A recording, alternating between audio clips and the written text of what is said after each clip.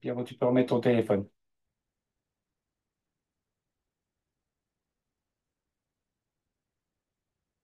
Pierrot, tu peux remettre ton micro.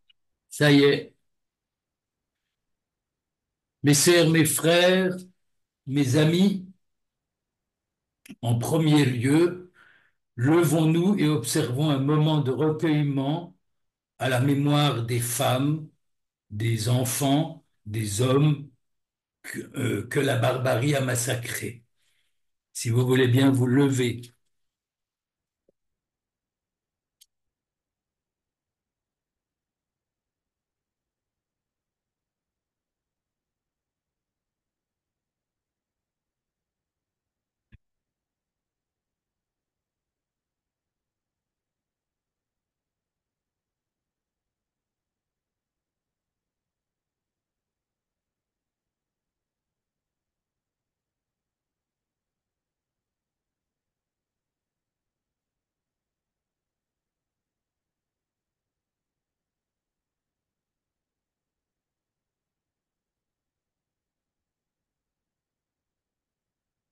Merci.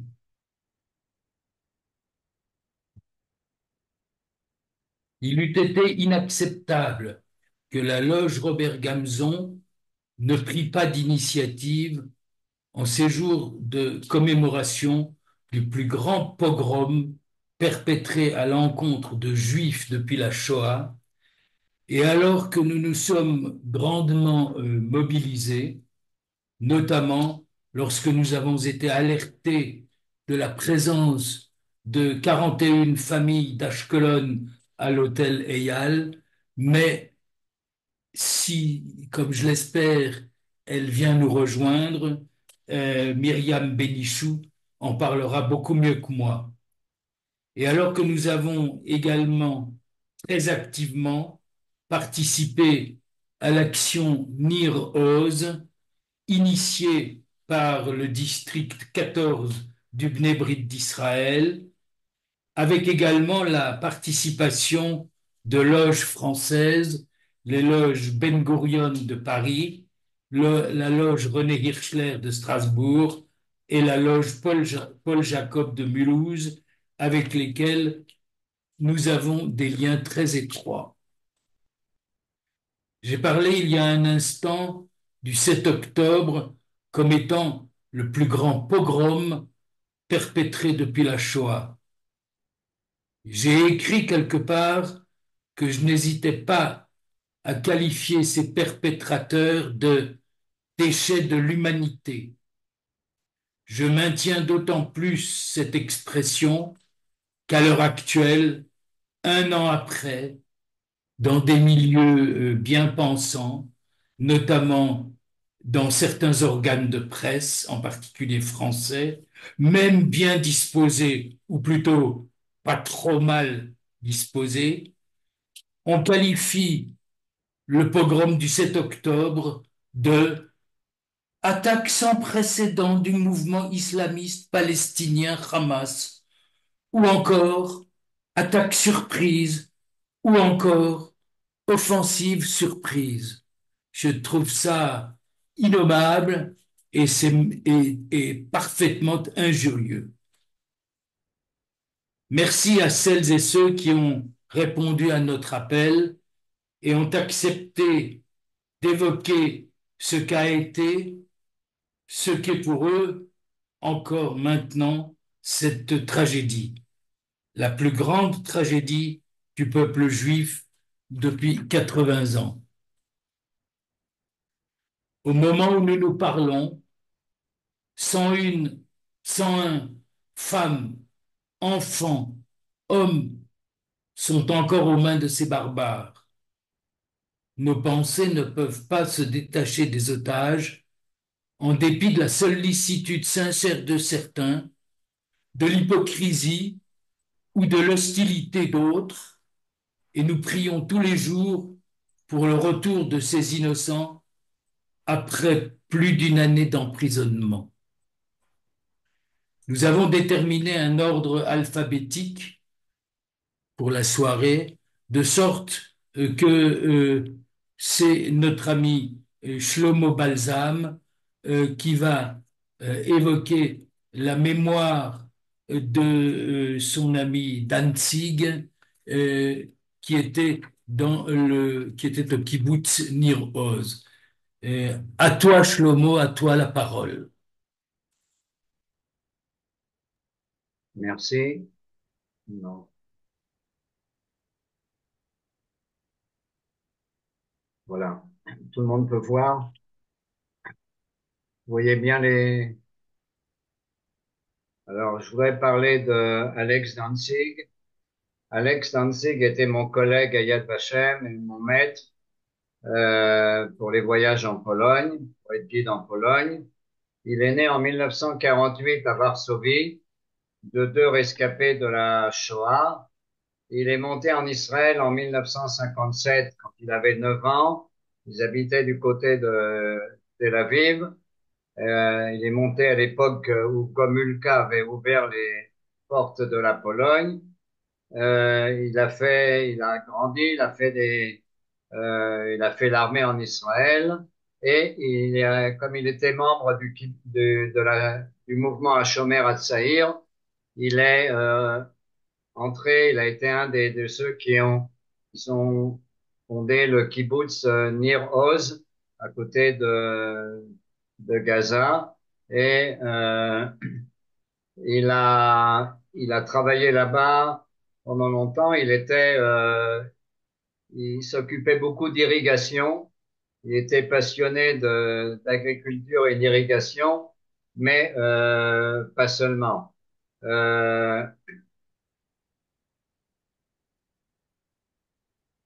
euh, très rapidement, il a fait des études d'histoire. Il a visité la Pologne euh, dans les années euh, à peu près 70-80 et euh, il a décidé d'être un formateur de guide. Il a commencé à travailler pas seulement à Yad Vashem, mais surtout à Yad Vashem comme formateur de guide, euh, dont moi, il a formé des, centaines et des centaines. Et il est devenu euh, un des spécialistes euh, en Israël des relations avec la Pologne pour l'histoire de la Shoah. Mais lui, il voulait plus aussi mettre l'accent non seulement sur la Shoah, mais sur la vie juive avant la Shoah en Pologne. On ne peut pas parler de la Pologne sans parler de l'histoire des Juifs de Pologne, et on ne peut pas aller en Pologne pour parler uniquement du massacre, mais également de l'immensité de la vie juive qu'il y avait avant. Donc il était euh, formateur. Il a écrit beaucoup, beaucoup de livres, euh, notamment en ivrite, en hébreu, euh, pour les moniteurs de Pologne, pour les, guides de Pologne, dont je me sers. Euh, il a écrit quasiment une dizaine de livres, un peu plus, sur euh, chaque région de Pologne, chaque village. Euh, on ne peut pas visiter la Pologne sans se servir des livres de, de Danzig. ce qui est le plus intéressant, c'est que il a beaucoup travaillé, il a reçu beaucoup de, de grandes décorations euh, de la Pologne, notamment euh, une médaille au nom de Jan Karski, le fameux Polonais qui a aidé et sauvé beaucoup de, de Juifs, euh, qui a prévenu sur qu'est-ce qui se passait dans les camps, qui est même arrivé jusqu'en Amérique pour dire à Roosevelt qu'il y a quelque chose qui cloche, et euh, personne n'a tellement, euh, tellement entendu. Et il a commencé à travailler en Pologne, surtout dans la participation pour créer des musées concernant l'histoire juive en, en Pologne. Alors, le plus grand musée ici à, à, à droite, c'est à Varsovie, le musée Pauline, P-O-L-I-N, qui est énorme et euh, qui raconte vraiment, euh, salle par salle, toute euh, l'histoire des, des Juifs de, euh, de Pologne. Et il a écrit euh, il, il, a beaucoup collaboré avec les Polonais, non seulement pour ça, mais également, il voulait absolument que les groupes israéliens qui vont en Pologne, notamment de jeunes, fassent des rencontres avec des jeunes Polonais de leur âge et qui font des travaux ensemble. Par exemple, les jeunes Polonais et les jeunes Israéliens ont travaillé ensemble pour nettoyer et restaurer des vieux cimetières juifs ils ont même, avec l'école Réout à Jérusalem, fait un projet incroyable. Ils ont photographié chaque tombe et ils l'ont mis sur Internet. C'est-à-dire qu'aujourd'hui, les gens dans le monde entier peuvent retrouver peut-être des tombes de leur, euh, des photos des tombes de leur euh, famille, de leurs proches.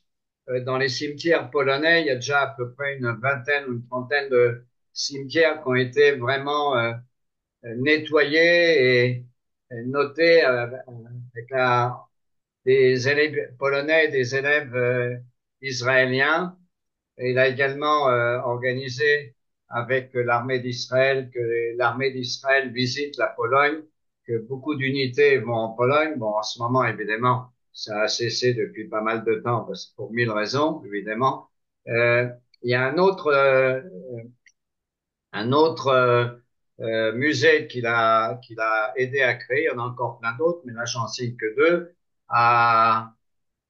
À Lublin, il y a un, un, musée juif qui s'appelle le théâtre NN. Pourquoi s'appelle le théâtre NN C'était un théâtre à l'époque communiste qui était même un peu anticommuniste, mais comme c'était un théâtre, ils arrivaient à faire passer des messages sans que tout le monde comprenne exactement tous les mots. Et ce théâtre-là, un jour est venue une dame une américaine, une vieille dame américaine est venue visiter Lublin il y a quelques, il y a une dizaine, plus de dix ans, et euh, on lui a demandé euh, mais qui, qui vous êtes, madame? Elle tournait là-bas, elle voulait euh, voir chaque pièce. Alors elle m'a dit je m'appelle NN. Pardon, madame?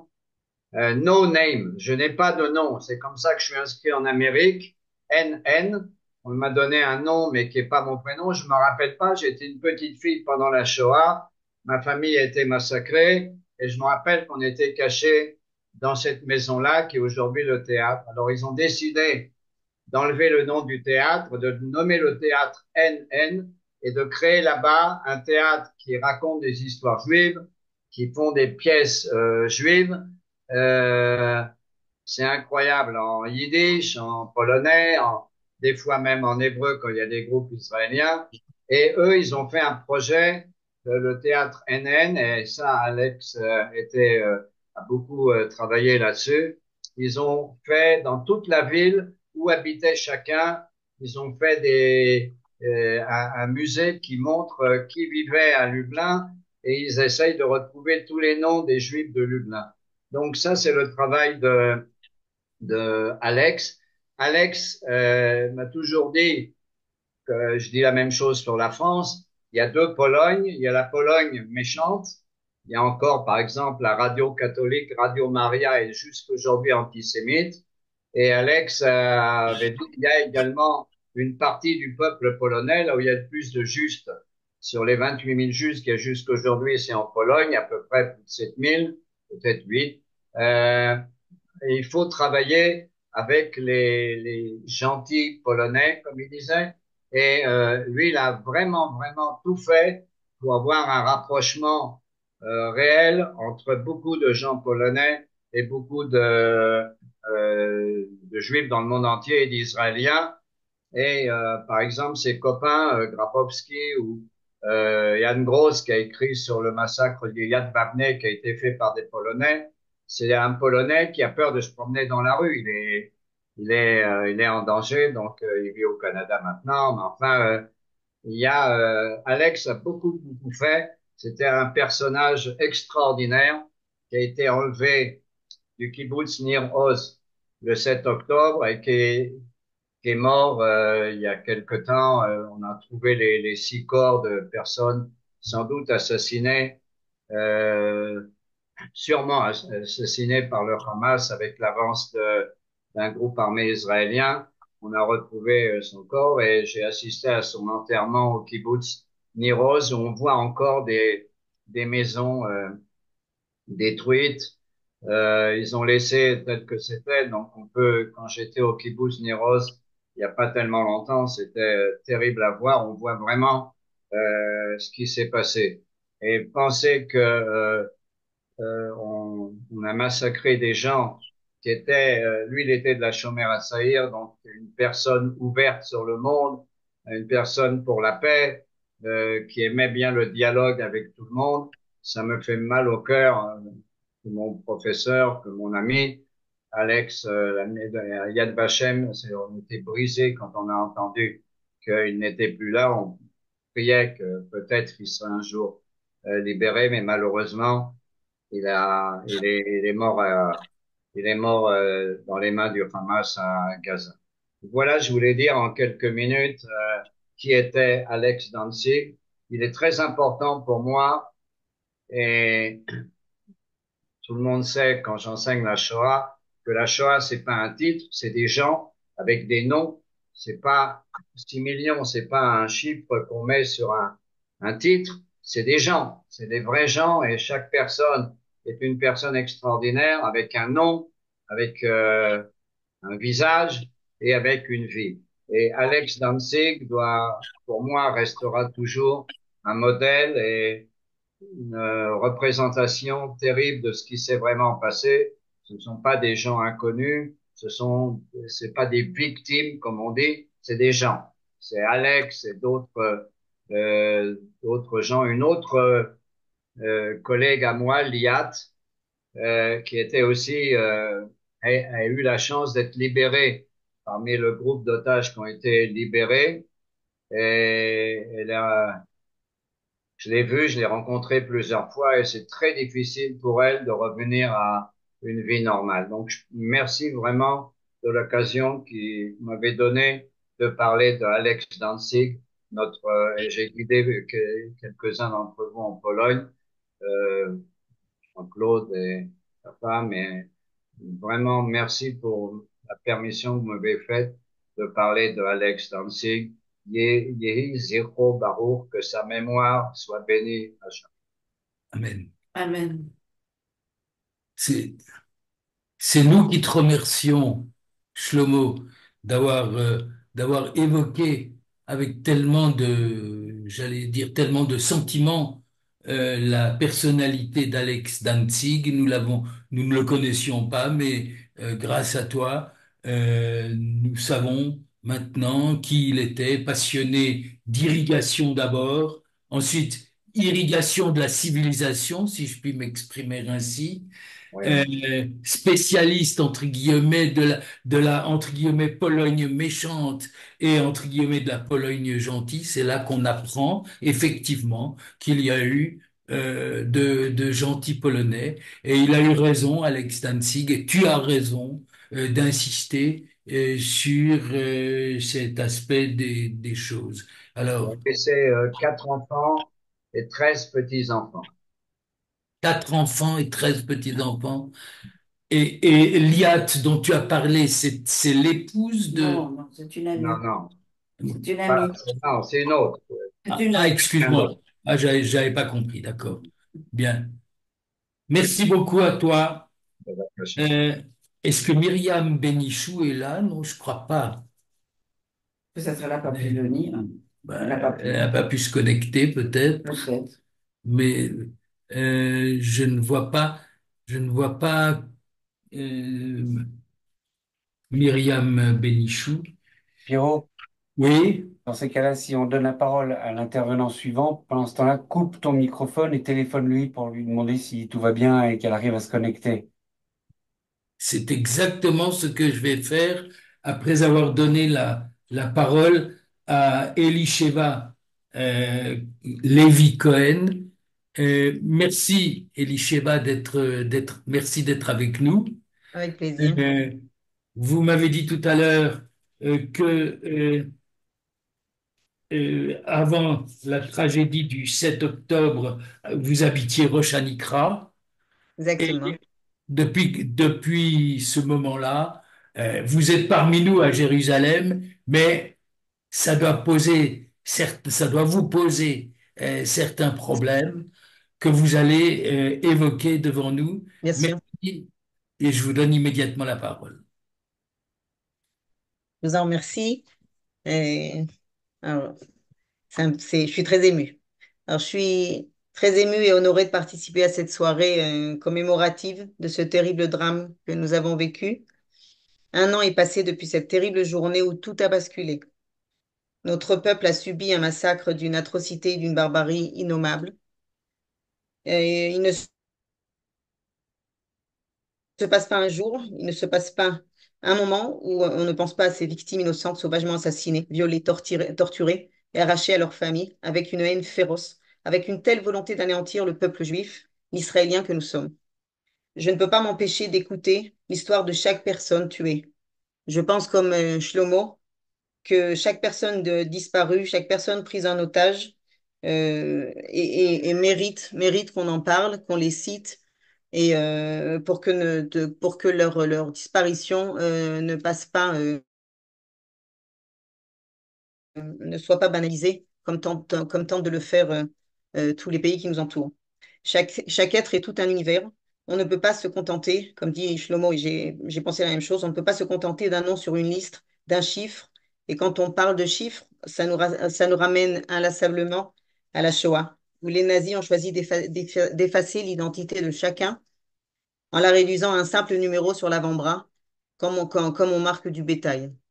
Alors à chaque fois qu'on parle d'un disparu, d'un otage, je me fais un devoir d'écouter leur nom et leur histoire. C'est à mon sens le minimum, le minimum que l'on puisse faire pour respecter leur mémoire et nous associer à la douleur de cette perte en tant qu'individu et en tant que peuple. On a un mémoire un, devoir de mémoire. Un an seulement est passé et déjà les, détracteurs essayent de minimiser ce pogrom ou de nier, de nier la réalité des faits. Un an seulement est passé et malgré les témoignages, les films, les photos, ils remettent déjà en question la véracité et le degré de violence de ce massacre sans précédent dans l'histoire d'Israël. Si vous êtes ici ce soir, c'est que vous aussi vous associez, vous vous associez à ce devoir de mémoire et d'empathie pour toutes les victimes de ce drame et leurs familles. Ce jour maudit s'est transformé en déclaration de guerre. Il a fallu ce drame pour sortir un moment notre pays de ses conflits internes et réveiller notre instinct de survie nationale. Par orgueil ou par ego, nous avons sous-estimé l'ennemi, nous avons été pris au piège. Je ne suis pas certaine personnellement que cela nous ait servi de leçon, puisque pendant que nos enfants risquent leur vie, au mieux ou au pire perdent leur vie, pendant que les otages souffrent encore un peu chaque jour, euh, d'autres sont au chaud chez eux et continuent d'attiser la haine et la, discorde au, sein de notre peuple au lieu de s'unir face à l'ennemi commun. La conséquence directe de ce pogrom est la guerre. Il y a les victimes directes et les victimes indirectes. Alors je me sens toute petite aujourd'hui de venir témoigner de mon histoire comparée à l'atrocité et à la douleur, au deuil personnel et national de toutes ces victimes. Mais en même temps, je les comprends un petit peu pour avoir vécu la perte douloureuse qui a changé ma, vie à tout jamais. J'ai fait mon alia avec mon mari et mes quatre enfants il y a 17 ans et mon mari s'est noyé euh, la même année en portant secours à mes deux enfants. Alors, je ne fais bien sûr aucune comparaison avec le drame de ces familles de victimes du massacre du 7 octobre. Je m'associe juste à leur douleur face à la, perte d'un être cher. Il a fallu se reconstruire après ce deuil et le plus dur a été de survivre et de se battre pour élever seuls mes enfants. Mes quatre enfants ont grandi et les quatre ont fait l'armée, deux garçons et deux filles. Mes deux garçons, un Golani, l'autre Givati, ont été appelés le 7 octobre, comme beaucoup d'autres. Et un est un à la frontière du nord et l'autre à la frontière de Gaza. Après quatre mois, David, qui était au nord, est rentré à Gaza, et Eliav, qui était à Gaza, est passé à Yehuda et Shomron, où ils sont restés encore quatre mois. Eliav, aujourd'hui, est sorti de Gaza, mais David a été rappelé dimanche euh, et est rentré au Liban. Que Dieu le protège. Alors, quand les enfants partent à l'armée, on arrête de respirer. On est tout le temps sur les infos. On écoute chaque sonnerie de téléphone. On est en stress de pouvoir être joignable à tout prix. Chaque soldat tombé ou blessé me, prend dans ma chair. Chaque soldat est un peu mon enfant. Mes garçons sont mariés et ont des enfants. Alors j'essaye de faire le mieux pour les soutenir aujourd'hui. C'est dans ce contexte que je voulais vous raconter un, autre pan de cette guerre. C'est l'histoire des oubliés de cette guerre. Par chance, par chance, entre guillemets, bien sûr, hein, euh, ils, ont, choisi d'attaquer, de commencer par le sud, et il a fallu nettoyer Gaza de ces terroristes. Mais nous, on vient du nord. J'habite à Rochanikra, deux kilomètres de la frontière avec le Liban. Alors, deux kilomètres, c'est rien. Je reconnais avoir eu de la chance d'avoir été épargné. Le 7 octobre 2023, je suis venue de Rochanikra pour passer la fête de Simchat à Jérusalem chez ma sœur Danielle. Ce Shabbat noir, nous avons été réveillés par de terribles nouvelles. Mes garçons ont été appelés par l'armée en urgence et sont partis. Mais nous avons très vite compris la gravité du drame qui se déroulait puisque les, maris de deux de mes cousines, euh, Lior Ben Yaakov, Itaï Maman, ont été assassinés en, protégeant le Moshav de Miftachim, proche de Gaza. Que Dieu bénisse leur mémoire. Depuis ce jour, mon petit garçon de 10 ans et moi sommes ici, à Jérusalem. Pas une seule fois, nous avons pu retourner depuis le, depuis le 7 octobre à Oshanikra, qui a été évacué et déclaré zone militaire. Cela, c'est difficile à imaginer, que ça fait 368 jours que nous ne sommes pas chez nous. Nous, avons, nous habitons chez ma fille et mon gendre à Troyes, dans le boucher de Sion. 368 jours d'incertitude, 368 jours, nous n'avons plus rien dans nos mains. On a fini par nous oublier dans cette guerre. Alors bien sûr, on ne va pas se plaindre dans l'absolu. Mais essayez de vous imaginer. Nous venons de passer les premières fêtes de Sukkot avec toute la famille. Cela veut dire à ce moment-là une trentaine de personnes chez moi une grande souka, des repas, un réfrigérateur, un congélateur, des draps, des serviettes, des enfants, des petits-enfants. Et puis on laisse tout pour prendre la route de Rosh à Jérusalem. Et puis tout s'arrête. La vie s'arrête. On est mis en pause. On ne peut plus. En plus de supporter le drame et le choc, on est perdu. Pour combien de temps, on ne sait pas. Le travail s'accumule. Les rendez-vous. Alors, je suis euh, pédicure podologue à la Coupatrolim. Les rendez-vous s'accumulent. Les plaintes aussi. Comme si la guerre n'était que pour nous. Annuler les rendez-vous, ne pas les annuler. Pour combien de temps? Ça semble comme ça dérisoire, mais c'est long. Pour l'école, mon fils, euh, l'inscrire, ne pas l'inscrire, abandonner ses copains, son milieu, ses rougim, son, son, son, sport. Son père est médecin dans le Nord et il est réquisitionné à l'hôpital. D'un point de vue pratique, nous n'avons rien. Pas de linge, pas de documents, pas de chéquier, pas de passeport. Ça paraît comme ça un dérisoire, mais du jour au lendemain, on se retrouve SDF. Je suis restée deux semaines chez ma sœur, puis ma fille étant maîtresse euh, à Nogdim, dans l'école, dans une école, propose de, de, demander au directeur de prendre mon fils Liam en Kita Dalet. Liam est, est courageux, mais perdu.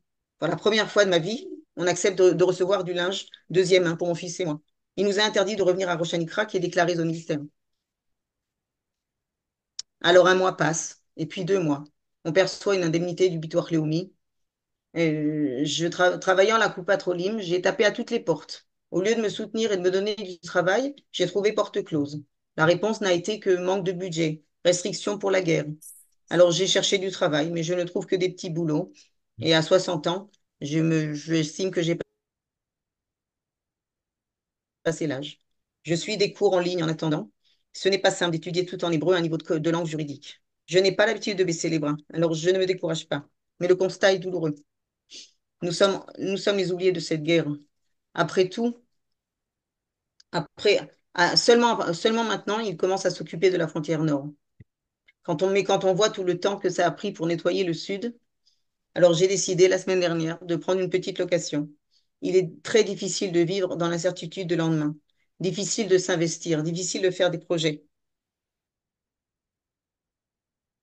Évacuer, être évacué, ce n'est pas partir en vacances, ce n'est pas déménager.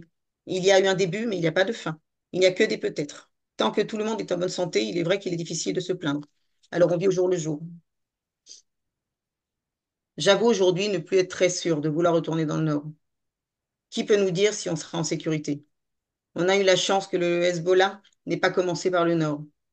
Mais malgré tout, la menace est réelle et quotidienne. Vous me direz, c'est partout en Israël, tant qu'on est juif ou juif israélien. Mais la guerre, cette fois, a commencé. Ils ont trouvé même des tunnels ces derniers jours qui arrivaient jusqu'à Rochanikra. Les roquettes tombent sans cesse, alors notre retour semble bien loin. Je voulais juste apporter mon témoignage pour raconter la, raconter la vie des oubliés de cette guerre. Voilà. Avec, euh, avec merci, merci, pour votre passage. Merci beaucoup euh, de votre témoignage émouvant, mais à voir votre sourire, on se rend compte que tout n'est pas foutu, loin de là, loin de là, que la, la vie est plus forte que tout. Et, et, vous nous donnez beaucoup, beaucoup de, de, courage. Vous qui êtes une oubliée, comme vous l'avez dit, du Nord, euh, j'ai été euh, particulièrement interpellé par ce que vous nous avez raconté il y a quelques instants, euh, savoir que, outre le fait que euh, vous n'êtes plus dans, vous n'êtes plus à Roche Anicra, vous êtes euh, en train de vous demander si vous allez retourner à Roche Anicra, c'est une chose, mais une autre chose qui fait très très mal, c'est de penser que vous avez trouvé porte close à la Coupat Cholim, à la dont, dont vous faites partie. Où allons-nous? C'est Depuis un, 15 ans. Depuis 15 ans, je travaille pour eux.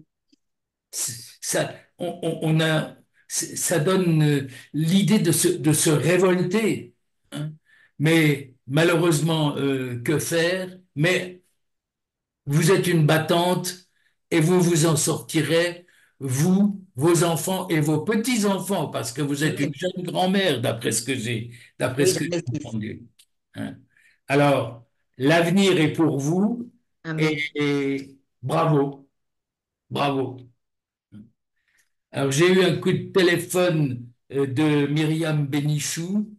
Euh, malheureusement, elle ne pourra pas participer à notre soirée parce que euh, son, son beau-père est gravement malade et elle a le, elle a le médecin avec, euh, avec son beau-père.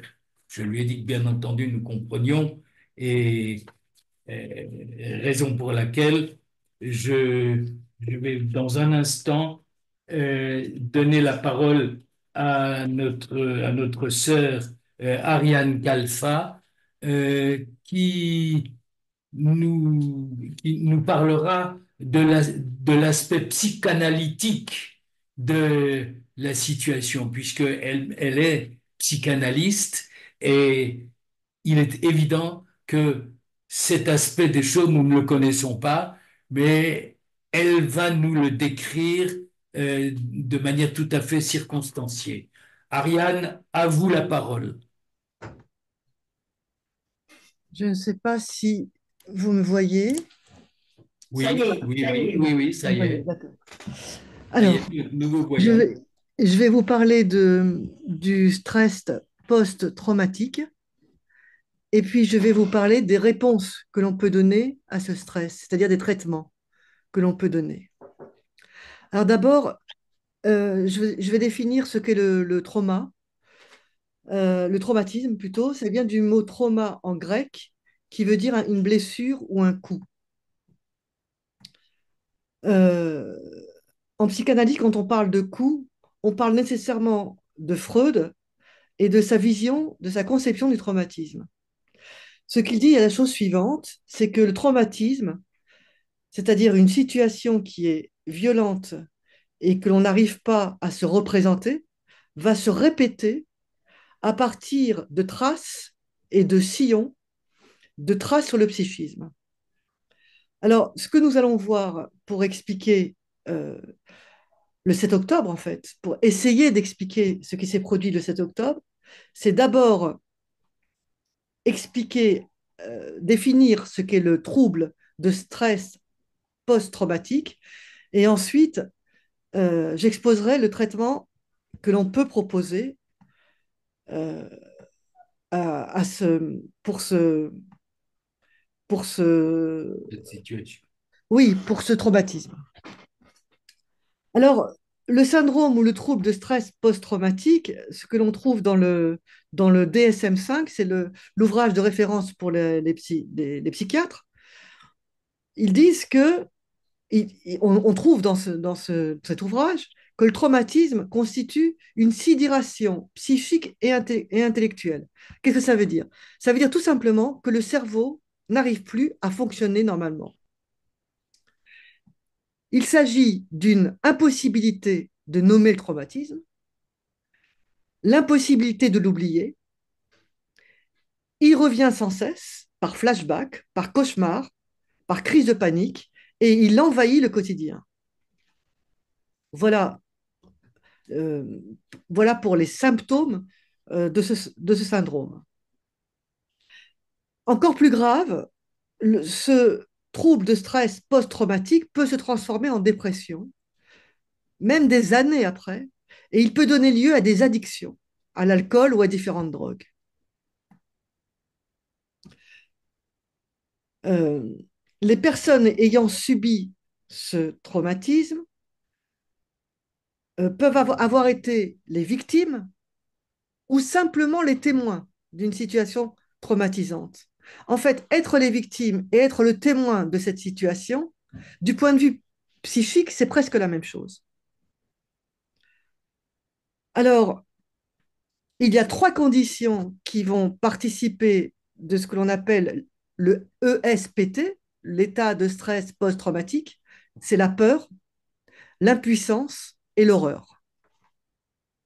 Je vais passer sur les symptômes et je vais vous donner la réponse psychiatrique. Alors, quelle est la réponse psychiatrique? Alors, évidemment, il y a les thérapies, parmi lesquelles il y a les thérapies euh, comportementales ou cognitives, l'hypnose, la sophrologie, le MDR. Euh, le MDR, c'est une thérapie par mouvement oculaire euh, qui nous vient des États-Unis. Il y a donc le traitement par la thérapie clinique, par la thérapie, par la thérapie comportementale, et il y a aussi le traitement médicamenteux, bien sûr. Euh, parmi, lesquels il y a la paroxétine comme molécule ou bien la sertraline. Alors, le but, c'est quel est le but de ces traitements? C'est que on a découvert que l'exposition répétée en imagination à de représentations euh, à l'expérience traumatique va réduire la souffrance. C'est exactement ce que l'on fait en psychanalyse. On revit, euh, ça s'appelle l'anamnèse, on revit l'expérience traumatique, mais là, de manière différente, c'est-à-dire qu'on va la nommer, se la représenter, et on va la nommer avec un autre témoin qui est en fait le psychanalyste. Alors, quelle est notre réponse à nous depuis le 7 octobre? Alors, c'est un peu plus compliqué que la thérapie, euh, clinique ou que la, euh, que la réponse psychiatrique. Pourquoi? Parce que nous, juifs, nous avons des prédispositions à vivre le post-trauma. Pour quelle raison? Parce que nous avons subi finalement un triple trauma.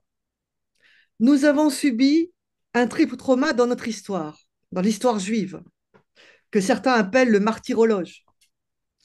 Et nous avons subi des pogroms, la Shoah et maintenant le 7 octobre. Et ce sont les pires des traumatismes que nous avons subis. Pour quelle raison? Parce qu'ils sont culturels et qu'ils ne sont pas naturels. Ils sont culturels, c'est-à-dire que ce sont des êtres humains, Amalek, qui veulent nous détruire. Et pas la nature. La nature, ce serait un tsunami, un déluge, un tremblement de terre, par exemple. Alors, d'ores et déjà, je dis la chose suivante, que notre cerveau est extrêmement malléable et que nous pouvons accéder à une résilience non pas simplement neuronale, mais aussi affective. Ce qui veut dire que notre réponse n'exclut pas la réponse psychiatrique, ni la thérapie clinique, qui en particulier permet de revenir à la vie. Notre réponse est double, elle est affective et intellectuelle. Affective comment? En créant du lien et intellectuelle en étudiant les, textes de notre tradition. Alors, créer du lien, qu'est-ce que c'est? C'est finalement soutenir affectivement. C'est rétablir une possibilité de confiance en l'autre et par conséquent en l'être humain. En créant du lien solide, fidèle, loyal et confiant. Créer du lien, c'est à la fois la relation humaine par la parole, de telle sorte que le respect, c'est-à-dire la distance et la dignité humaine, soient restaurés.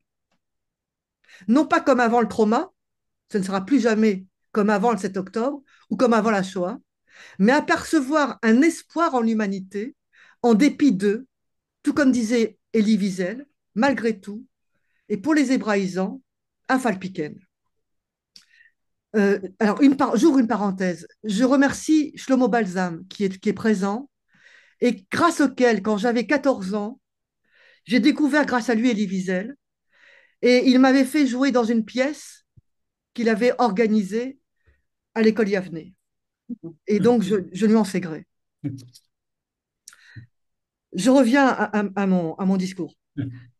Anna Arendt parlait de crise de la confiance concernant la Shoah. Et je pense que c'est malheureusement pire que cela. Car être confronté à la barbarie, ce n'est pas seulement une crise de la confiance. C'est remettre en question les fondements même de la dignité humaine. Les fondements même du sens de la vie humaine, du sens de l'existence humaine. Il y a quelque chose d'abject dans la barbarie, physiquement bien sûr, mais aussi moralement. Pourquoi? Car il s'agit d'une profanation. Il s'agit de profaner l'autre. Dans la barbarie, c'est l'altérité même de l'autre qui est profanée. Il existe également une autre réponse à cette barbarie. Comment sortir du fracassement de la léthargie intellectuelle Et je propose par l'étude des textes. Pourquoi l'étude des textes? Car d'une part, c'est notre patrimoine, mais pas seulement. Parce que c'est en effet l'unique réponse à la barbarie, à la sacralisation des pulsions sadiques et perverses. Étudier nos textes, c'est lutter contre la barbarie. En quoi? Car ils contiennent les fondements mêmes de la morale. Il s'agit donc pour nous d'espérer en l'humanité, malgré notre blessure, malgré notre déchirure, malgré la claudication propre à Jacob, notre patriarche, nous avançons en boitant, mais nous avançons tout de même. Nous sommes blessés, mais vivants, et vivants dans le respect de l'altérité et de certaines valeurs humaines. C'est ces valeurs humaines, ces valeurs humaines, pardon, qui nous permettent de lutter contre Amalek, dont l'un des représentants actuels est le Hamas. Le Hamas, nous l'appellerons Amalek. Hamas, en hébreu, veut dire violence. Violence. Oui. Oui. Le Hamas, donc Amalek, a commis des crimes contre l'humanité. Qu'est-ce que cela signifie? Cela signifie qu'ils s'en sont pris au propre de l'homme, à la dignité de l'être humain. À travers qui? À travers ceux qui représentent l'être humain dans sa conscience morale, à savoir le peuple juif, qui a apporté au monde la morale, les dix commandements, la loi juive, qui est elle-même au fondement de la déclaration des droits de l'homme. Tzedek, Tzedek, Tirdof, la justice, la justice, tu poursuivras.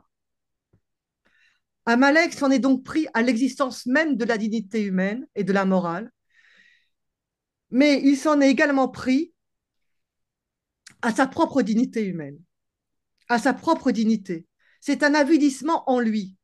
Il s'est avili, lui-même en pensant avilir le juif et ce qu'il représente. Inutile de dire qu'aucun animal aurait agi avec autant de sadisme et de perversion, avec autant d'abjection. Amalek représente l'abjection par excellence. Et en cela, il est semblable au nazisme. Il y a autre chose. Amalek s'en est pris à tout le peuple juif. Nous sommes tous des traumatisés du 7 octobre, comme nous sommes tous des traumatisés de la Shoah. C'est là, c'est présent dans notre mémoire. Cela constitue le présent de notre mémoire. Il s'en est pris à nos rêves, qui sont doubles, un rêve de paix et un rêve et le rêve de considérer qu'Israël pourrait être un refuge pour les Juifs du monde entier. Il s'en est pris au rêve de Herzl. Enfin, Amalek s'en est pris à l'existence juive, car exister en Israël, c'est tout de même la métonymie de l'existence juive. Ça représente l'existence juive en général, l'existence spirituelle, religieuse et politique. Et, et, ensuite, je vais relativiser le, le politique et la territorialisation. J'ai employé le terme s'en prendre volontairement. Je n'ai pas utilisé le terme détruire, car nous sommes semblables, encore une fois, à nos patriarches. Nous sommes blessés, nous claudiquons, mais nous ne sommes pas anéantis pour autant. Enfin, nous pouvons poser que le Hamas, comme le nazisme, est un Malek. Il s'agit certes d'une guerre idéologique, l'avilissement de la dignité humaine, la barbarie contre l'éthique et la morale, mais il s'agit aussi d'une guerre contre notre propre existence. Ce qui est étonnant, c'est que nous sommes seuls à combattre Amalek. Dans l'histoire, et peut-être même aujourd'hui encore, alors qu'il est le représentant de l'avilissement de l'homme par lui-même et de l'abjection humaine, alors qu'il s'agit à proprement parler de crime contre l'humanité. Alors c'est quoi un crime contre l'humanité? C'est une notion juridique.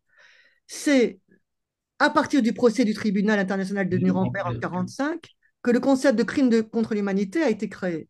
C'est donc à partir de la Shoah. Les crimes contre l'humanité sont imprescriptibles. Cela signifie que le temps ne peut pas les abolir. Ils sont des crimes contre l'humanité jusqu'à la fin des temps.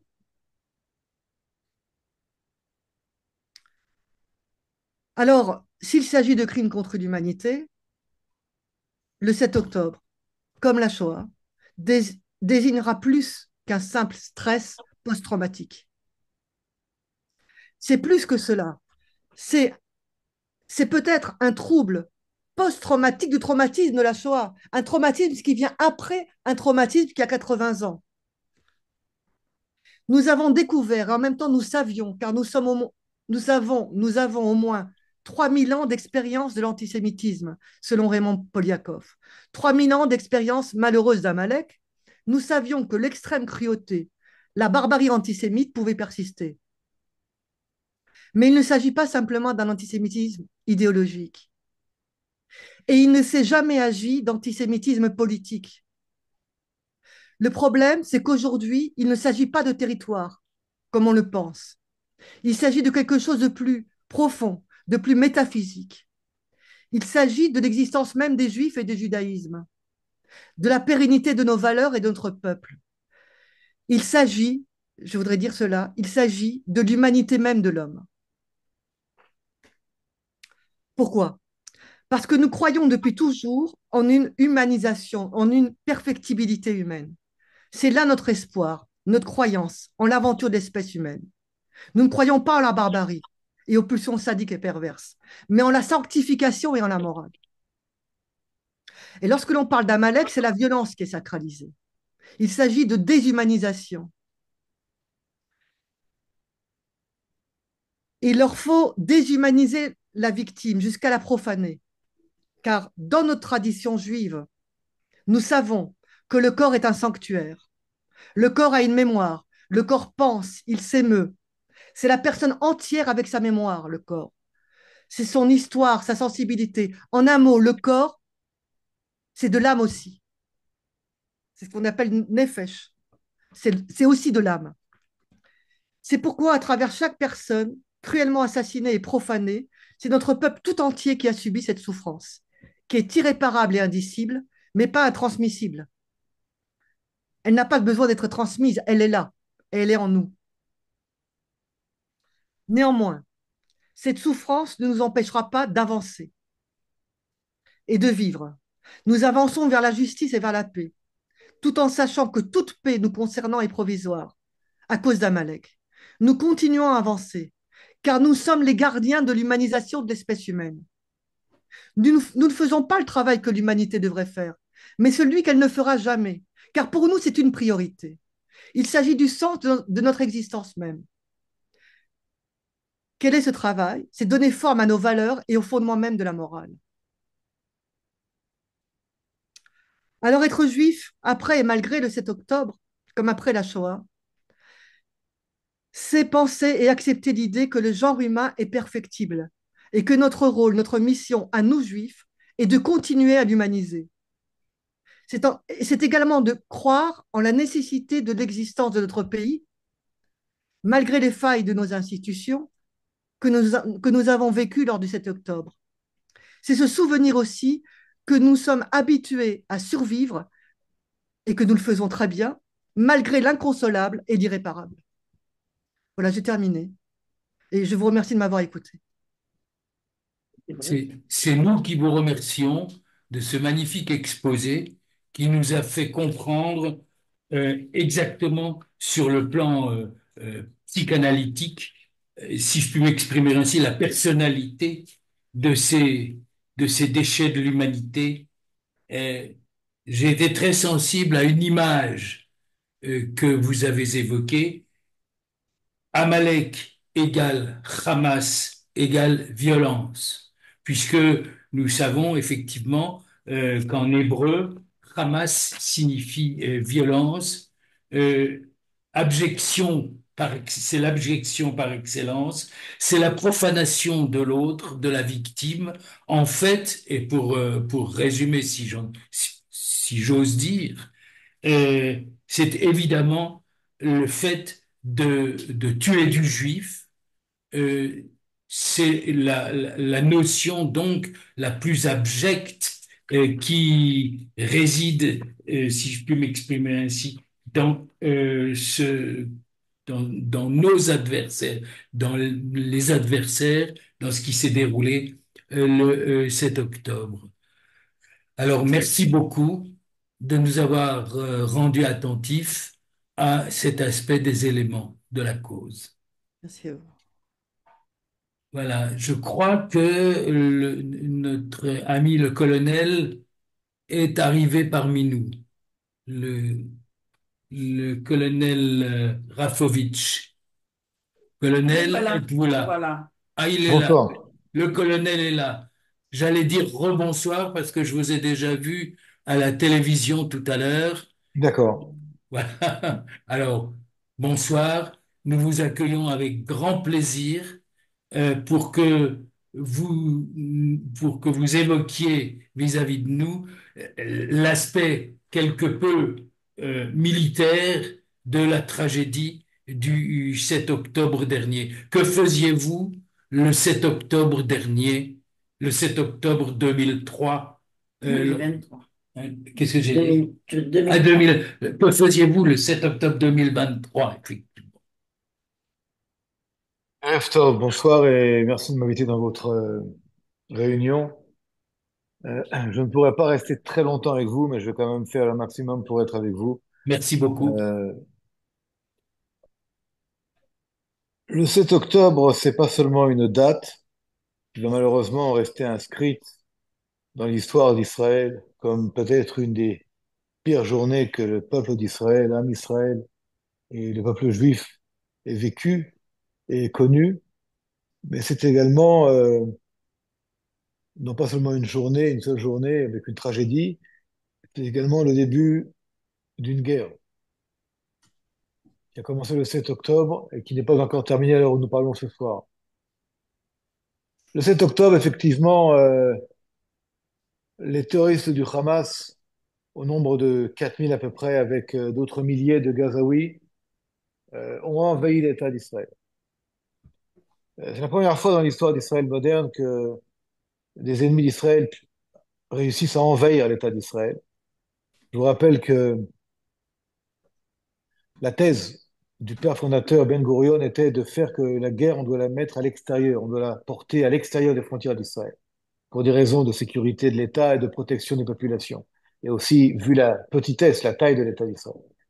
Or, cette guerre qui a commencé par le 7 octobre, par le 7 octobre, pardon, a commencé par une invasion surprise de milliers d'hommes extrêmement entraînés, déterminés, préparés, avec un plan d'attaque prévu à l'avance, qui ont attaqué par surprise Israël et qui ont également euh, pris par surprise Tzahal et les autorités militaires. Et alors nous parlons, euh, nous sommes toujours en guerre et on n'a pas encore euh, commencé ou avancé dans les commissions d'enquête internes et qui vont être ensuite rendues publiques plus tard, mais il est clair que beaucoup de questions restent encore en suspens et qu'il y a encore beaucoup de réponses à apporter à l'interne également à l'extérieur. Moi-même, personnellement, le 7 octobre, j'étais euh, à 6h30 du matin dans mon lit. J'étais euh, un citoyen israélien qui dormait, comme beaucoup ce Shabbat de Simchat Torah. Et euh, j'ai été réveillé, comme euh, beaucoup, par les alertes également par les coups de téléphone de mes amis et par les vidéos qui commençaient à circuler. Euh, beaucoup ne croyaient pas leurs yeux euh, de voir des terroristes du Hamas pénétrer avec des tenders, avec des, tenders Toyota à Sderot. Il a commencé les massacres. Je crois que la première chose qui est à relever dans cette première journée de guerre, et ce matin-là, c'est le fait que les terroristes euh, du Hamas, avec des milliers d'autres Gazaouis qui étaient avec eux, ne l'oublions pas, ont voulu filmer et propager leurs meurtres et leurs crimes de masse pour le monde, que le monde voit ce qui se passe. En général, vous savez, les criminels, les tueurs, même les pires d'entre eux, comme les nazis durant la Seconde Guerre mondiale, ont tout fait pour perpétrer le crime et pour cacher le crime, pour masquer le crime. Ici, on a à la fois un crime de masse implique euh, de la barbarie, de la sauvagerie, des viols de masse, des tueries durant euh, cette campagne de chasse à l'homme, enfants, les jeunes de la Nova de cette fête. On voit les photos, les images, on voit des milliers euh, de jeunes israéliennes et israéliens courir pour échapper au meurtre, et les autres qui crient Allahu Akbar et qui utilisent leurs mitrailleuses et les fusils mitrailleurs de type Relachnikov pour tirer, comme on tire à la chasse? Des lapins, là on tire des juifs et des juives. Et près de 400 ont trouvé la mort ce jour-là. 400. Des jeunes, des très jeunes, des femmes, très jeunes femmes. Beaucoup euh,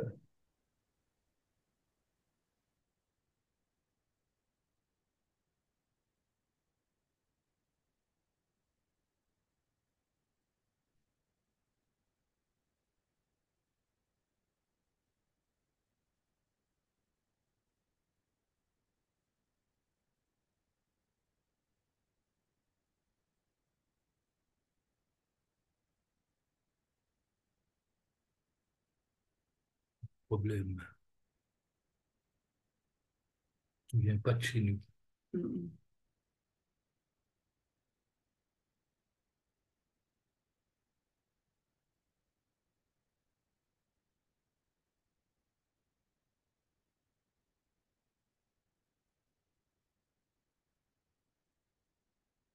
Il a disparu. Hein? Il a disparu.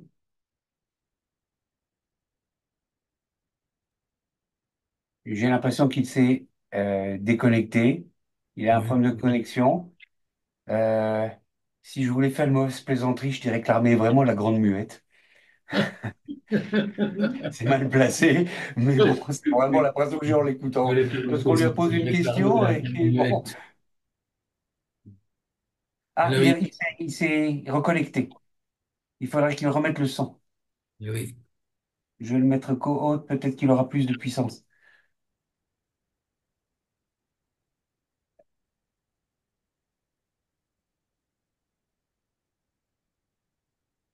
27 participants. Non, c'est pas mal. Bah, écoute, Pierre, on est en guerre. hein. Tu n'aurais pas eu plus là-bas. Non, je crois pas. Non? Peut-être, peut-être. Non, hein? je crois pas.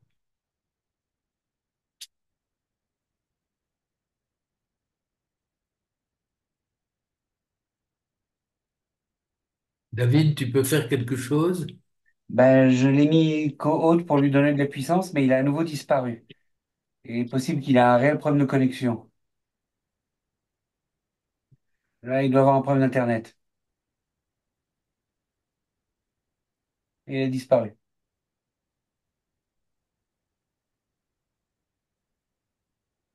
Et il- tu crois qu'il a, il- a-t-il disparu définitivement? Euh, en tout cas, il est pas, il est plus en, il est plus en salle d'attente, hein. Il est plus dans le, il est plus dans le panneau. Tu veux qu'on l'appelle, Pierrot? Oui, appelle-le peut-être.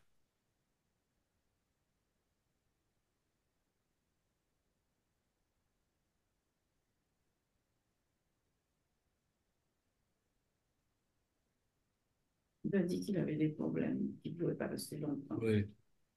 Exact. Oui, Olivier, on vous, on vous voit plus. On vous entend plus non plus. Et vous pouvez vous reconnecter? Ouais.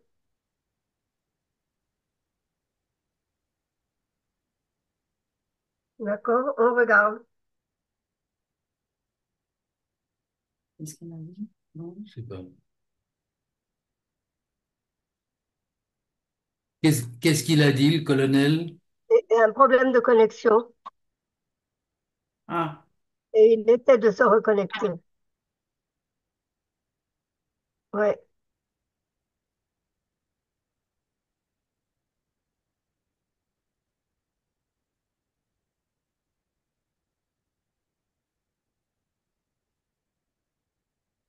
Alors,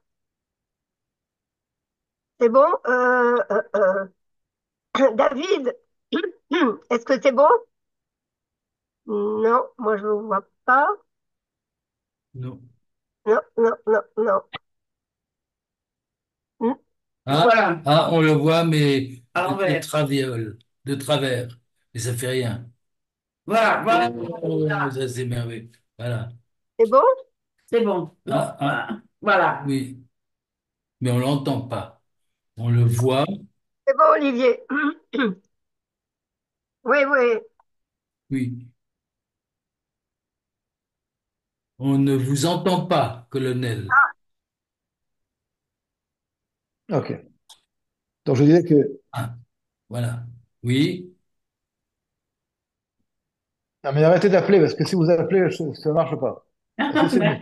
Cessez de de de me téléphoner en même temps, c'est pas possible sinon. C'est bon là? Voilà. Oui, c'est oui, c'est bon. Ok. Donc je disais que qui s'est passé ce jour-là, cet acte de barbarie, de sauvagerie, de, de tuerie, de, de viol de masse, accompagné de, de la volonté de, de filmer et de propager ces images, ont eu un impact qui, qui est encore vécu en Israël comme un traumatisme, mais également comme la raison de l'action militaire qui fait que nous devons tout faire pour que ce 7 octobre ne soit plus jamais reproduit. Pour cela que cette guerre que nous menons contre le Hamas est une guerre qui a un but de démanteler, de détruire totalement les infrastructures militaires du Hamas et évidemment de tout faire pour libérer nos otages, qui ont été ce jour-là pris en otage 251 personnes. À l'heure où nous parlons, il y en a encore 101. Nous savons qu'une trentaine d'entre elles sont décédées, et nous voulons que tous les otages reviennent à la maison. Dans cette guerre-là, il y a euh, la guerre que vous connaissez, la guerre euh, où l'armée de l'air, les forces terrestres, les forces spéciales ont fait un travail euh, incroyable. Dans les tunnels, sur les tunnels, ont euh, éliminé près de 18 000 membres du Hamas, de la branche militaire, ont mis à, ont mis, euh, je dirais, à, à, à mal ce qu'on pouvait appeler le gouvernement du Hamas, puisque la bande de Gaza n'est pas, comme le disent les médias qui adorent dire ce mot, une enclave. C'est pas une enclave. Une enclave, c'est l'enclave, c'est la Suisse en Europe, l'Autriche, le Luxembourg. Ce sont des États enclavés. Mais Gaza, la bande de Gaza, a une frontière maritime très, très importante, et très belle d'ailleurs. Et donc, c'est pas une enclave. Mais Gaza s'est enclavé tout seul à cause d'un régime du Hamas qui a porté euh, comme étendard la destruction d'Israël, la guerre contre Israël. Donc, qui a obligé Israël, et également l'Égypte d'ailleurs, à protéger les frontières et à vérifier les frontières. Malgré cela, comme vous le savez, il y a eu des tunnels qui ont été creusés. Par ces tunnels, des quantités gigantesques, phénoménales d'armes, de munitions sont entrées, une partie en contrebande et d'autres des matériaux pour construire des armes elles-mêmes dans la bande de Gaza. Mais avant de cela, il faut dire que Gaza n'est pas seulement une bande de Gaza, c'est un proto-État. C'est-à-dire qu'en fait, ceux qui pensent que Israël a fait la guerre à quelques groupuscules ou quelques éléments armés du Hamas, parfois sous-armés, je parle de, ce que disent souvent nos ennemis, ou qui sont faibles, euh, n'ont absolument rien compris à la réalité à laquelle nous faisons face, et nous faisons face depuis euh, des années maintenant. Vous savez, il y a dans la Torah, dans le Talmud, je crois, je crois que c'est dans la Torah, une phrase qui dit, euh, lorsqu'on est par exemple devant un tribunal, c'est pas parce qu'on est euh, celui qui paraît pauvre, qui est pauvre même, que s'il y a un tribunal, que le pauvre a raison. Le pauvre peut avoir raison, mais le pauvre peut aussi avoir tort. Comme d'ailleurs celui qui est faible peut avoir tort aussi, même s'il est faible. Et on a voulu en fait dans cette histoire, parce que c'est une histoire, propager une situation dans laquelle Israël, État fort et puissant, fait face à des gens pauvres qui n'ont rien, je, résume évidemment, et donc qui mériteraient en fait de ne pas perdre, ou presque de gagner. Or, pour nous, cette guerre est une guerre existentielle, parce que ceux qui sont dans Gaza, je parle ceux du Hamas et ceux qui les soutiennent, veulent une chose, la destruction totale et physique de l'État d'Israël. Et le remplacement d'Israël par un grand califat qui serait à la place d'Israël. Et il y a aujourd'hui, euh, dans cette guerre que nous menons, je dirais, une guerre dans la guerre. Pourquoi une guerre dans la guerre? Parce que il y a la guerre, donc la guerre cinétique, la guerre de mouvement, la guerre de troupes, la guerre aérienne, la guerre du renseignement, la guerre, la guerre qui, qui utilise les armes face à des armes. Mais il y a aussi une guerre de la communication, une guerre de l'influence, une guerre de la propagande, une guerre des réseaux sociaux, une guerre dans laquelle l'ennemi, qui est extrêmement sophistiqué, qui possède des, relais importants comme l'Iran, comme le Qatar, euh, des sources d'information et des relais comme euh, El Jazeera, par exemple, a réussi à influencer des masses, surtout en Occident, pour vendre et promouvoir un narratif qui est en totale opposition avec la réalité. À tel point que ce narratif aujourd'hui fait des émules parmi euh, les gauches d'Europe, par exemple.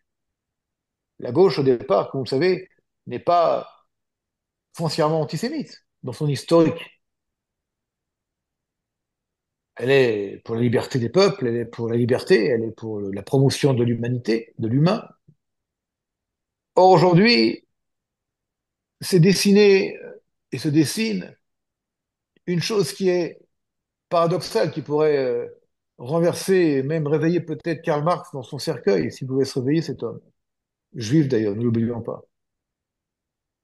C'est que la gauche aujourd'hui fait la promotion et soutient des hommes qui veulent créer des califats, qui veulent renforcer l'islamisme, qui veulent promouvoir la charia, des règles dans lesquelles les femmes sont euh, tenues euh, comme euh, sous le, pouvoir des hommes, des pouvoirs qui tuent les homosexuels, qui ne respectent pas la liberté d'expression, qui ne respectent pas la liberté de syndicat, qui ne respectent pas le pluralisme, et qui veulent, en plus, la fin de l'État d'Israël et la mort des Juifs. On pourrait se demander comment se fait-il que les gauches, les libéraux, soutiennent de tels mouvements. Au nom de quoi? Pourquoi?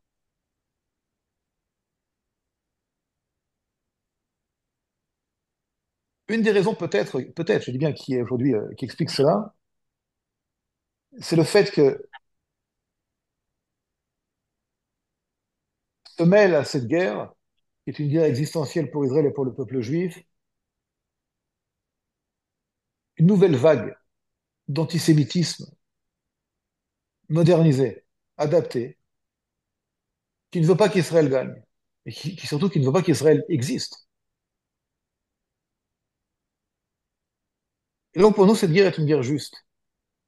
Et et les Israéliens tous les Israéliens, de gauche, de droite, religieux, pas religieux, savent exactement pourquoi ils se battent, pourquoi ils sont mobilisés, pourquoi il faut continuer à faire que cette guerre aille jusqu'au bout, c'est-à-dire éliminer les infrastructures, les capacités militaires du Hamas, et faire que le Hamas ne puisse plus être le gouvernement ou le chef, le commandant, si vous voulez, de ce, proto-État qu'est la bande de Gaza. Il faut que, le, Hamas cesse d'être une force militaire et politique à Gaza. Cette guerre a également euh, entraîné une autre guerre, un autre front, le front du Liban, où le 8 octobre, le, jour d'après, le Hezbollah, chiite, non pas, et sunnite, lui, les deux soutenus, par euh, l'Iran, s'est mis à attaquer Israël et à bombarder Israël, jusqu'à aujourd'hui d'ailleurs, au nom, je cite, de son soutien à la cause palestinienne mais au détriment des Libanais, de l'intérêt libanais, Et il a entraîné le Liban, en tout cas les Libanais, dans une guerre qui n'est pas la leur. Une guerre qui n'a rien à voir avec ce qui passe aujourd'hui à Gaza. Et aujourd'hui, le Liban, là, où nous parlons, a un million de déplacés, parce que nous, on a aussi des milliers de déplacés aux alentours de 70 000 au nord, des villes euh, ravagées, des villes fantômes comme Shlomi, comme Kiryat Shmona, euh, des villages entiers euh, vidés de leur population. Il y a encore quelques agriculteurs qui ont le courage de venir là-bas pour cultiver, pour s'occuper de leurs poules ou de leurs vaches. Mais on est dans une situation, et c'est ça que je voudrais vous dire, où nos ennemis veulent vider physiquement Israël ou des régions d'Israël de leur population juive. En fait, c'est une guerre contre le sionisme, où les Juifs savent que pour être là, il faut cultiver sa terre et défendre sa terre. C'est l'idée des kibbutzim, c'est l'idée des moshavim, c'est l'idée du sionisme depuis plus d'un siècle, un siècle et demi. Or, nos ennemis ont décidé qu'il fallait envahir le sud, faire que les Juifs israéliens aient peur d'être dans le sud, envers le nord pour que les Juifs israéliens aient peur d'être dans le nord, et puis peut-être petit à petit, comme ça, faire qu'on ne peut plus vivre en Israël. C'est ça l'idée. Il faut être très clair avec ça. D'ailleurs, le slogan de nos ennemis aujourd'hui, est tellement clair qu'il est là pour nous dire ce qu'ils veulent. Free Palestine from the river to the sea. Libérer la Palestine de la rivière, donc du Jourdain, jusqu'à la mer Méditerranée. C'est-à-dire que nos ennemis ne cachent pas, ni n'ont caché leur crime le 7 octobre, ni cachent leur intention. Ils ne veulent pas et avec eux des soutiens politiques, intellectuels, ils ne veulent pas qu'Israël existe. Ça veut dire quelque part que nous sommes dans une situation, si, je dis bien si, ce n'est pas le cas, nous défendons pas, mais il y a aussi après autre chose à dire. Et si nous ne gagnons pas, eh bien nos ennemis penseront qu'ils ont gagné et qu'il faut donc continuer jusqu'à ce qu'ils arrivent à leur fin. Donc cette guerre est une guerre existentielle. Pour la première fois depuis la Seconde Guerre mondiale, l'État d'Israël, les Israéliens et le peuple juif tout entier ressent l'impact de cette guerre-là. Et je le dis souvent euh, dans des interventions télévisées, ceux qui m'ont entendu ou qui m'entendent parfois, oui, Israël a le droit de se défendre. Je pense qu'on va leur dire merci de nous donner ce droit. Mais on a également le droit de gagner. Et je dirais même le devoir de gagner. Et là, on n'est pas là en train de courir, on n'est pas là en train d'attendre le prochain pogrom, peut-être qu'il n'arrivera pas.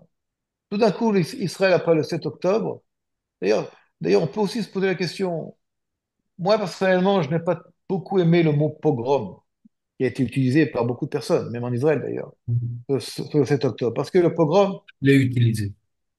A cette, a cette connotation de juifs de la diaspora, de la galoute, qui n'ont pas d'État, qui ne mm. dépendent que du bon vouloir des Cosaques ou des, ou des popes qui menaient ces pogroms dans les shtetl de Pologne, de Russie ou d'autres contrées d'Europe de l'Est ou d'Europe centrale, et puis qui priaient le mieux possible, le plus possible, en espérant que le pogrom allait s'arrêter et qu'un seigneur allait peut-être retrouver euh, l'esprit d'arrêter les, les meurtres. Ça, c'était avant. Aujourd'hui, on a une armée de l'air, on a de l'infanterie, des forces spéciales, une jeunesse extraordinaire, des femmes et des hommes qui se battent. Et la problématique intellectuelle reliée à ce conflit-là aujourd'hui, surtout en Occident, je dis bien, est une incompréhension, même en 2024, d'accepter que le peuple juif se batte. Le peuple juif qui se bat, ça fait de la de l'information numéro un dans toutes les chaînes de télévision. Pourquoi? Parce que lorsque, par exemple, des Arabes tuent des Arabes dans des guerres fratricides en Syrie, Moyen-Orient. Euh, ça, ça, intéresse Presque pas. Parce que c'est pas ça qui intéresse. Ce qui intéresse, c'est lorsqu'Israël, trait d'union, les Juifs sont impliqués dans la guerre. En fait, s'il n'y a pas de Juifs dans l'histoire, eh bien, l'histoire n'intéresse personne. Euh, il y a 25 millions actuellement de Soudanais qui souffrent d'une famine terrifiante à cause de guerres civiles internes. Ça n'intéresse personne. Il y a actuellement des centaines de milliers de Yéménites qui sortent d'une guerre civile et qui n'est pas encore terminée. Et ce qu'on appelle des rebelles, outils, qui depuis des années et des années font régner, pardon, un, règne de, de, terreur et de meurtre, également euh, soutenu par l'Iran. Ça intéresse très peu de personnes. Un petit peu. Mais tout d'un coup, quand les outils attaquent Israël, là, les outils sont en première ligne. C'est pas les outils qui intéressent. C'est parce qu'Israël est impliqué. Lorsque les Palestiniens ont été massacrés par l'État islamique dans le camp de Yarmouk en Syrie, près de Damas, personne ne s'occupait de savoir combien de Palestiniens étaient morts, combien d'enfants, combien de femmes, parce que Israël n'était pas dans le coup. En fait, c'est nous qui est intéressant. Il y a cette phrase qui est parfois utilisée, qui dit No Jews, no news. No Jews, no news. Alors, je ne veux pas être ici à la place des, des chercheurs, intellectuels, universitaires sur le pourquoi de la chose, mais c'est une réalité à laquelle nous faisons face et on nous empêcherait presque de nous défendre, ou en tout cas ne pas aller jusqu'au bout à chaque fois. Parce que dans une certaine mémoire collective lointaine et plurimillénaire, les Juifs ont été des victimes. Peu importe, peu importe les raisons. Le Juif victime, on le pleure, on fait des films, on fait des cérémonies, on colle des, on colle des plaques. On, euh... Mais le Juif qui ne veut pas être une victime, et Israël ne veut pas être une victime,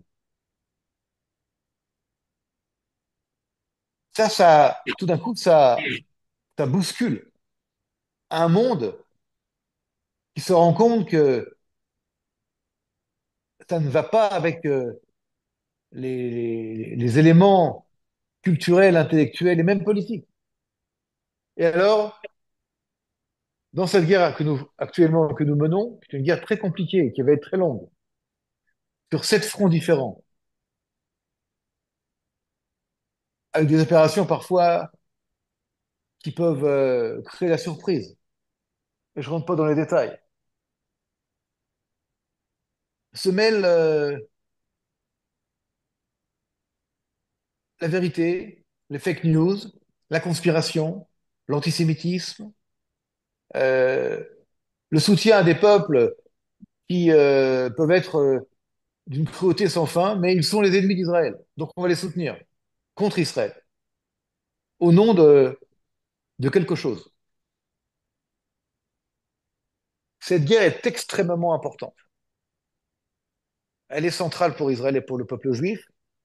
Et souvent, je la compare, hein, en tout cas le 7 octobre et depuis, à une vague d'un tsunami gigantesque dont la vague n'a pas encore touché le sol.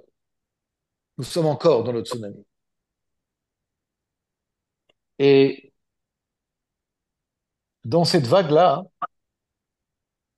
l'impact est tellement important que tous les juifs du monde, en tout cas les concernés, qui sont la majorité, ressentent à la fois le traumatisme en Israël, les douleurs et l'inquiétude. Mais de manière paradoxale, lorsque l'État d'Israël a été attaqué de cette manière-là et d'une telle cruauté, de telle barbarie, peut-être que nos ennemis ont, mal lu ce que nous étions pour de vrai. Ils pensaient qu'on était peut-être euh, un État euh, divisé, euh, avec des problématiques internes politiques. Peut-être qu'ils pensaient que on n'allait pas faire ce qu'on va faire. Et comme dans la Torah, il y a cette image mi-religieuse et mi, euh, je dirais, euh, comment dirait, un peu euh, ésotérique, où on dit que quand Moshe Rabbeinu, quand Moïse baisse les bras, Israël perd les batailles, et quand Israël, et quand Moshe Rabbeinu lève les bras vers le ciel, Israël gagne. Alors on a un, un peu baissé les bras le 7 octobre, au début en tout cas. Et depuis, on les a très haut les bras, vers le ciel. Et Israël, à mon humble avis, quand je dis Israël, c'est l'État d'Israël, l'armée d'Israël, la force d'Israël, Israël avec un grand I, Am Israël, n'a jamais été aussi fort, Mhm.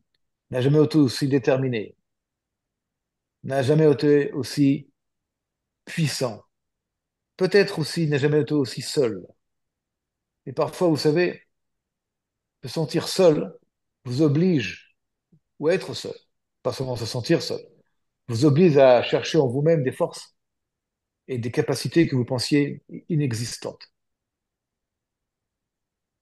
Et nos ennemis se rendent compte qu'Israël est capable de choses extraordinaires et très puissantes. Et nous sommes dans cette euh, situation-là, avec malheureusement des morts, des blessés, des handicapés, des orphelins, des veuves, des veufs, sans un otage toujours aux mains du Hamas. Mais plus que jamais pour nos soldats, nos soldates, plus que jamais pour euh, les citoyens d'Israël, une raison de vivre. La raison de vivre aujourd'hui pour nous, elle est stricto sensu la raison de notre victoire qui va venir, les Hashem. Et je parle pas seulement aussi comme un militaire, je parle aussi comme un juif, un simple juif que je suis. C'est très important de revenir à ce que nous sommes. Des juifs qui se battent pour être libres sur notre terre. Pour que nos ennemis comprennent qu'on ne touche pas à Israël sans être touché par la réaction d'Israël. Les Iraniens, je vais finir par cela, les Iraniens ont attaqué Israël il y a le 1er octobre, ont lancé 101 missiles balistiques. Chacun avait une tonne de explosifs dans la tête euh, du missile. Sans nos missiles antimissiles et sans nos protections, on aurait pu ici avoir des dizaines, dizaines de milliers de morts. On a réussi à tenir cette attaque pour la deuxième fois consécutive en l'espace de six mois, mais Israël va réagir. Et Israël est là, plus que jamais. Shana Tova à vous tous. Gmar Khatima Tova. Et que Hachem, Ishmor Alechem, Valeno, Valim Israël. Amen, amen, amen. Amen. Colonel, votre, exposé était aussi émouvant que stratégique. Euh, vous nous avez fait apprendre plein de choses. Nous nous sommes rendus compte, grâce à vous, que Israël a le devoir de gagner. C'est l'expression c'est une des expressions euh, que vous avez utilisées. Et je dois dire, je crois me faire l'interprète de tous les assistants pour vous dire que euh, vous nous avez donné beaucoup d'optimisme. Euh, à présent, je vais donner la parole à, Jacqueline Robibaud pour euh, quelques mots de conclusion et je, terminerai peut-être par deux mots, je verrai. Jacqueline, à toi. Je dis que c'est très difficile de prendre la parole après tous ces témoignages pleins de, de sentiments qui, qui nous touchent profondément. Et je voudrais commencer par dire comment vivre et affronter la situation qu'Israël vit depuis le 7 octobre 2023. Chacun d'entre nous, chacun dans la société israélienne, a réagi suivant ses convictions personnelles. Rassemblement, prière, volontariat, donner de son temps, donner de son énergie. C'est ce que la loge Robert Gamzon a essayé de faire pendant cette terrible année 2024. Nos pensées et nos cœurs étaient et sont toujours avec les otages, avec leurs familles, avec nos Hayalim, avec Saal, avec les familles déplacées du Nord et du Sud. Merci à tous nos intervenants qui nous ont vraiment très émus par leurs euh, témoignages, que ce soit Shlomo Malzam, comme d'habitude, que ce soit Babette Cohen, que nous ne connaissions pas, mais nous avons été très, très émus et très, très enthousiasmés de la connaître. Que ce soit Ariane Kalfa, membre de la loge Robert Gamzon, que nous avons découvert en même temps. Et merci, merci, Ariane, de ton témoignage et de ton analyse. Et désolé que la présence de Myriam Benichou ne soit pas avec nous. Myriam Benichou avait noué des relations avec Pierrot Dreyfus et moi-même, et nous avions énormément sympathisé. Donc, toutes nos pensées, toutes mes pensées à Myriam Benichou et à sa famille. Olivier Grafovitch, je ne dis pas colonel, parce que Olivier Grafovitch, c'est un ami, un ami qui nous parle en tant qu'ami, pas en tant que colonel, mais en tant qu'ami. Olivier, merci. Olivier, c'est un hymne à l'amour d'Israël. Je vous remercie tous. Shana Tova, Am Israël Chai, et comme on dit chez nous, à la loge Robert Gamzon, à l'éveil. Allez, bye. Merci. Rien à ajouter à ce que vient de dire notre mentor Jacqueline Robibeau, si ce n'est que euh, je vous souhaite une très très bonne soirée et grâce à vous quatre, nous aurons eu ce soir beaucoup d'optimisme après la tragédie du 7 octobre 2023. Am Israël Chai, comme l'a dit Jacqueline.